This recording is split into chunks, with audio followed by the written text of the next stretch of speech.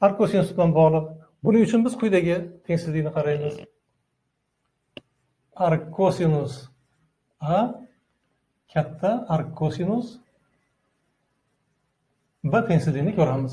Mana bu yerda ani o'rnida x bni o'rnida x kvadrat kelyapti. Bni o'rnida tengsizlik xuddi shu tomonga qaragan. Bunday tengsizliklarni qanday qilib yechamiz birinchi kosinusni kamayuvchi ekanligi ark kosinusni kamayuvchi ekanligidan biz quyidagi tengsizlikni yozamiz. A kichik b. Demak tengsizlik teskarisiga o'zgaradi. Go'yoki mana bunday eslab qolish mumkin. Ark kosinuslarni tashlab yuborsak tengsizlik teskarisiga o'zgaradi. Shunday qilib eslab qoling. Keyingi tengsizliklar. Ark kosinusning aniqlanish sohasiga ko'ra a minus bir va bir orasida bo'lishi kerak. Ya'ni mana bu tengsizliklar bajarilishi kerak. B ham shu shu kabi tengsizliklarni qanoatlantirishi kerak. Kichik yoki teng bir shunday qilib quyidagi sistemani hosil qildik.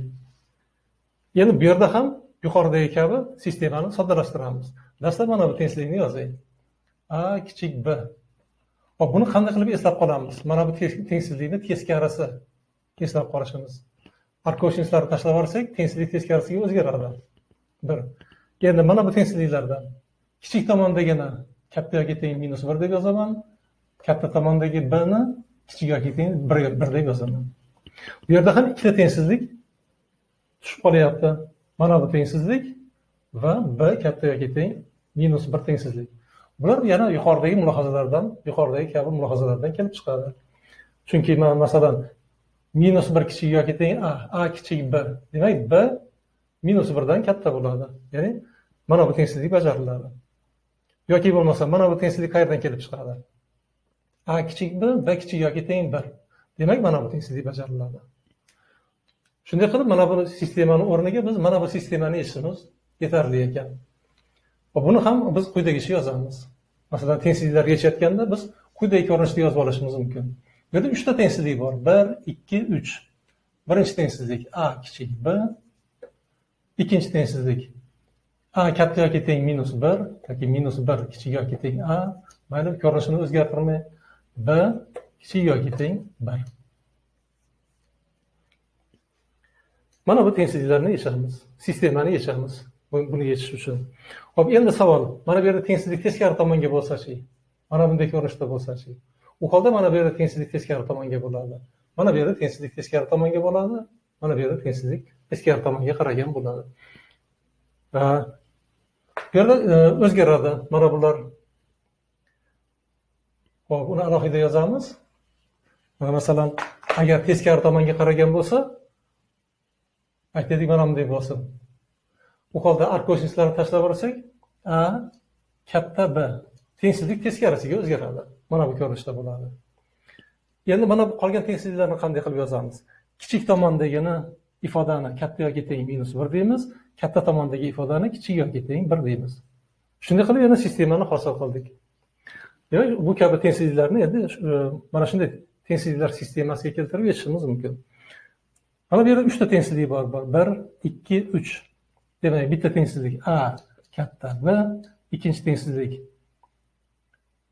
a kichik yoki teng bir uchinchi tengsizlik b katta yoki teng minus bir. Mana bu tengsizlikni yechishni o'rniga mana bu sistemani yechamiz shunday qilib biz tengsizlikni sistemalarga olib kelamiz. Hop endi berilgan tengsizlikni yechamiz.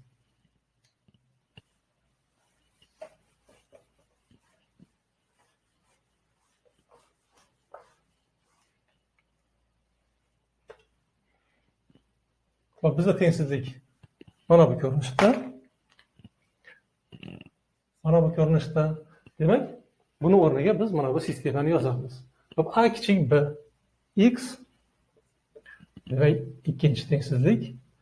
X kichik x kvadrat. Mana birinchi tengsizligimiz bo'ldi. Endi kichik tomondagi minus birdan katta. Katta yoki teng minus bir katta tomondagi ifoda kichik yoki teng bir. Demak ark kosinusni tengsizligini teskarisiga o'zgartiramiz.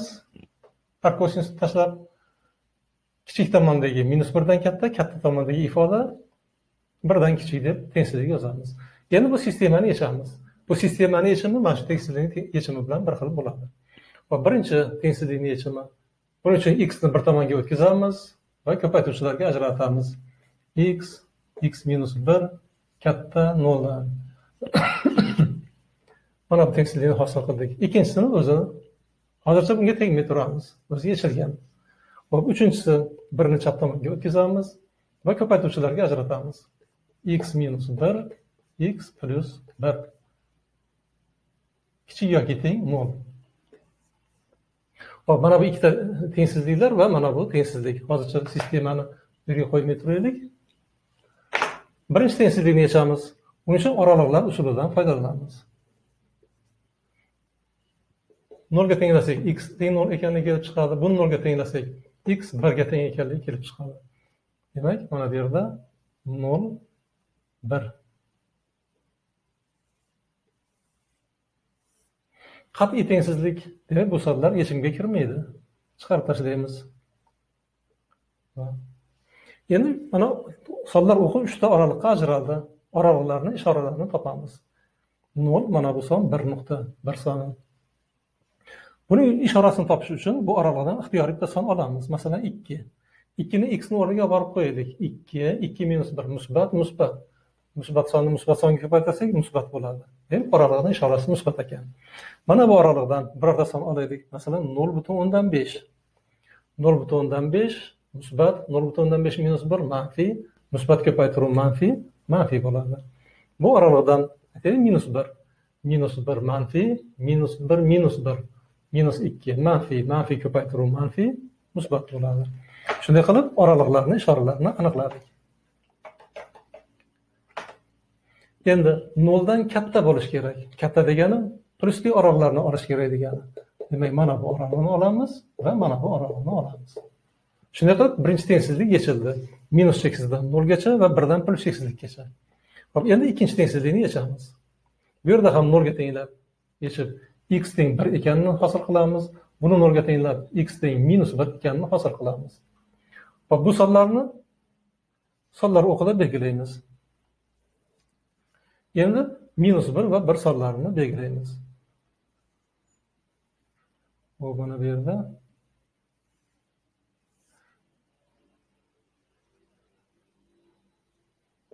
Minus bir va bir sonini belgilaymiz. Tenglik belgisi bor bu sonlar bu tengsizlikning yechimi bo'ladi. Yana uchta oraliq hosil qildik. Bu oraliqlarni ishoralarini topamiz. Birinchi oraliqni ishorasi. Birorta son olaylik bu oraliqdan masalan ikki. X o'rniga ikki qo'yamiz. Ikki minus bir musbat ikki plyus bir musbat musbat ko'paytiruv musbat musbat bo'ladi. Bu oralig'dan nol olaylik. Nol minus bir manfiy nol plyus bir musbat manfiy ko'paytiruv musbat manfiy bo'ladi.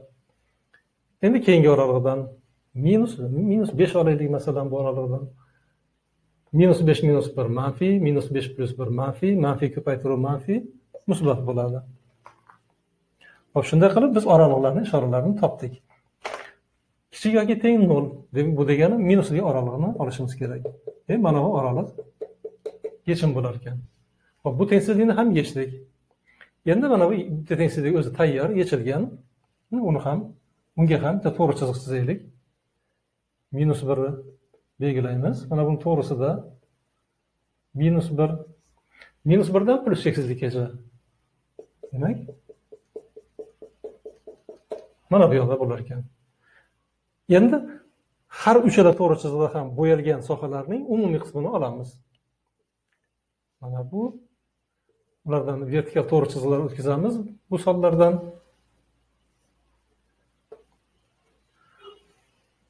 demak mana bu oraliqda bu qismi bo'yalmagan bu oraliq yechim emas mana bu oraliqda. Demak uchalasi ham bo'yalgan bu oraliq yechim bo'ladi. Demak minus birdan nolgacha hozircha minus birdan nolgacha. Nol kirmaydi chunki bittasida tegishli bo'lmasa demak umumiy emas. Bittasida tegishli emas. Demak yechimga kirmaydi.